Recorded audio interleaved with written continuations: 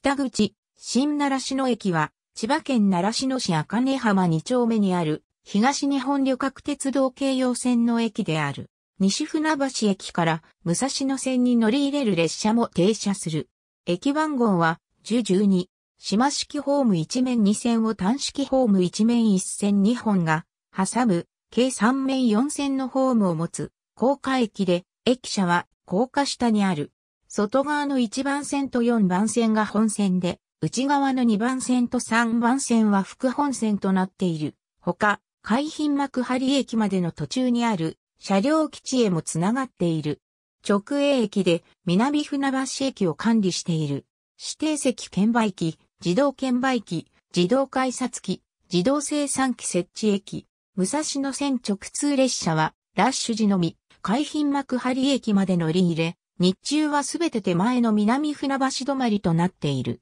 なお、大宮駅発着の下佐号は、海浜幕張駅まで乗り入れる。また下佐号には、海浜幕張駅のみならず、当駅始発のものもある。2016年11月19日現在のところ、快速は停車しない。快速設定当初は夜間に、上総一宮、または、機密始発あたり駅止まりの快速が数本、運転されており、その列車のみが当駅に停車していた。なお、途中停車駅は、外房線が、茂原、大網、本田、蘇我、内房線は、木更津、姉ヶ崎、小井、八幡宿、蘇我で、京葉線内各駅停車だった。新奈良市の駅構内の配線略図を表示するには、右の表示をクリックしてください。参考資料、武蔵野線、京葉線建設の経緯と、線路配線、鉄道ピクトリアル第52巻8号2002年8月号2018年度の1日平均乗車人員は13,561人で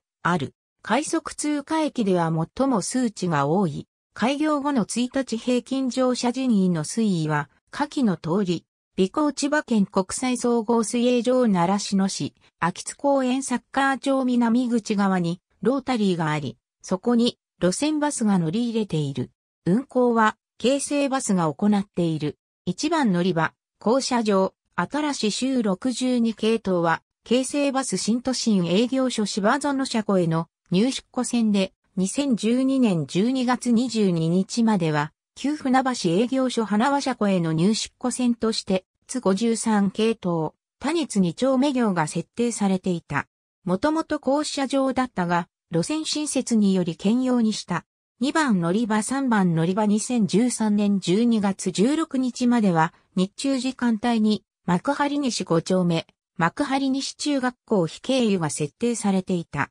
奈良市の市ハッピーバスは両方向ともに3番乗り場から発車する。また、京成津田沼駅を経由するバスは、当バスの他に、上記の津46と津52系統があるが本数が少ない上にいずれも平日のみ運行であることから、土日祝日も運行する奈良市の市ハッピーバスは重宝される。津51系統からの最寄りは、マロニ、江橋である。東日本旅客鉄道京葉線通勤快速、快速通過各駅停車、下佐合南船橋駅から新奈良市の駅、幕張新駅海浜幕張駅注釈、編集出展、編集広報資料、プレスリリースなど一時資料、編集 JR 東日本の2000年度以降の乗車人員千葉県統計年間、ありがとうございます。